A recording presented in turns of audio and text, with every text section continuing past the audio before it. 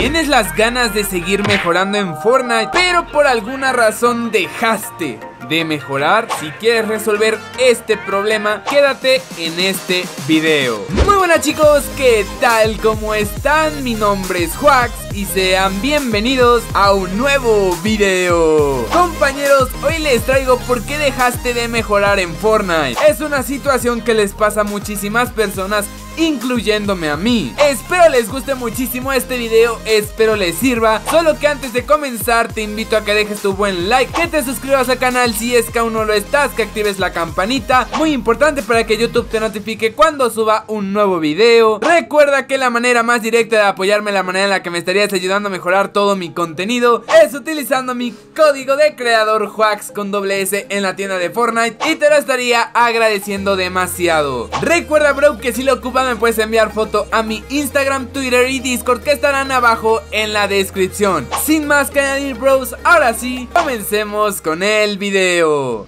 Ok hermanos, pues de lo primero que vamos a hablar en este video es la sensación de no estar mejorando. Podrás estar trabajando muy duro, te podrás estar esforzando demasiado por querer mejorar, estarás grindeando muchísimo tiempo al día, pero no sientes que mejoras. Pues en el video de hoy te voy a dar unos cuantos trucos y consejos que te van a ayudar a seguir mejorando en Fortnite. Pero ¿a qué se debe esta sensación? Al tú estar mejorando, hermano, no te das cuenta exactamente cuando mejoras, ya que es una acción no muy visible. A lo que me refiero con esto es que no nos damos cuenta cuando mejoramos porque nosotros estamos mejorando. Pero si te quieres dar cuenta si en verdad estás mejorando o no, puedes ver un clip de hace un mes, dos meses y te podrás dar cuenta que en realidad sí has mejorado un poquito o un mucho. La solución a esta sensación es compararte con tu pasado y no compararte en un futuro, porque tú en un futuro puedes decir, mejoraré tanto que en dos meses ya estaré topeando. Y puede que pasen cinco meses y no has agarrado un solo top. Y esta es la causa de por qué sentimos que no mejoramos, porque no cumplimos algunas metas. Es mejor decir, mira, hace dos meses no hacía estos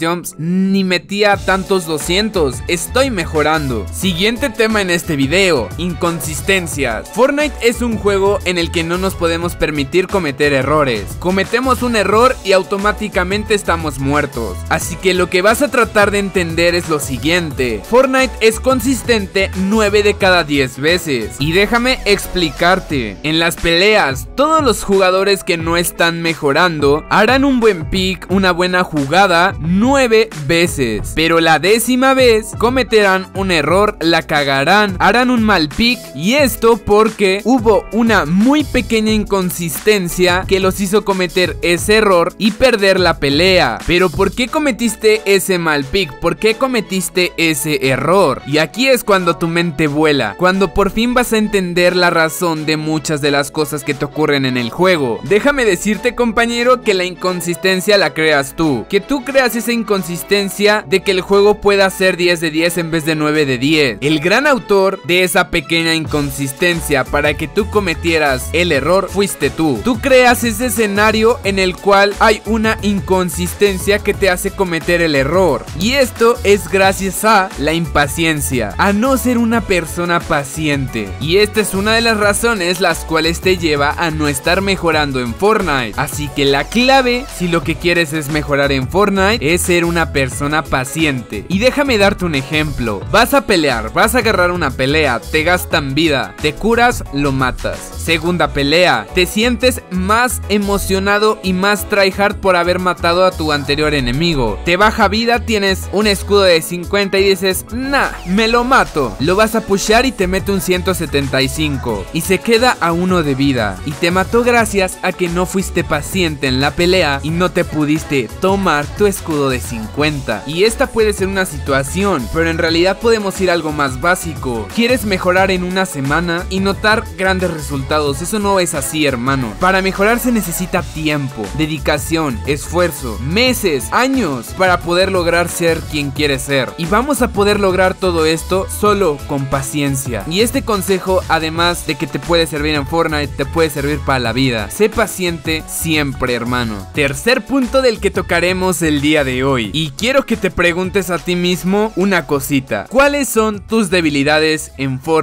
Si tú no puedes responder esta pregunta, no es raro que hayas dejado de mejorar, ya que la clave hermano es saber qué cosas estamos cometiendo mal para poder mejorarlas. Practicar está de pelos, calentar también, pero si en verdad quieres mejorar debes practicar de forma estratégica. Debes tener bien en claro cuáles son tus debilidades, cuáles son tus errores, qué cosas son las que cometes mal al estar jugando. Y no es para nada difícil saber cuáles son, simplemente con sacar clip a la hora en la que mueres o a la hora en la que tú sientes que cometiste un error, vas a poder estar aprendiendo y sabiendo cuáles son tus debilidades. Y no vayamos tan lejos, puede que revisar tus clips y repeticiones sea un poco cansado. Cuando juegues con tus amigos diles, pregúntales, oigan chicos, en buena onda y seanme muy honestos, ¿qué piensan que puedo mejorar? ¿Cuáles son mis grandes errores que cometo en el juego? Y así, así de simple puedes saberlos hermano. Cuarta cosa de este video, sé muy selectivo a la hora de practicar en Fortnite. La clave para mejorar rápido en Fortnite es muy sencillo, es dedicarle tiempo a lo que en verdad, a lo que realmente te falla, ser muy preciso en lo que vamos a practicar. Si tú eres malo con tus mecánicas, si realmente todas tus mecánicas no son buenas, pues no va a estar para nada mal meternos a creativo y practicar absolutamente todo. Practicar las bases de lo que se conforma Fortnite. Pero imaginamos que tienes un mal aim, pues no estaría para nada mal jugar Kovacs, jugar Aim Lab o practicar demasiado tus 1v1 Aim Duel. Enfocarte en lo que realmente fallas es una estrategia bastante buena y bastante rápida que te permitirá mejorar. Pero como ya lo mencioné hace unos instantes, claramente lo que va a ser la clave es el tiempo, la dedicación que le pongamos al mejorar. Yo sí te recomendaría te hicieras una rutina, practicaras diario lo que en verdad te falla. Una hora, dos horas practicando y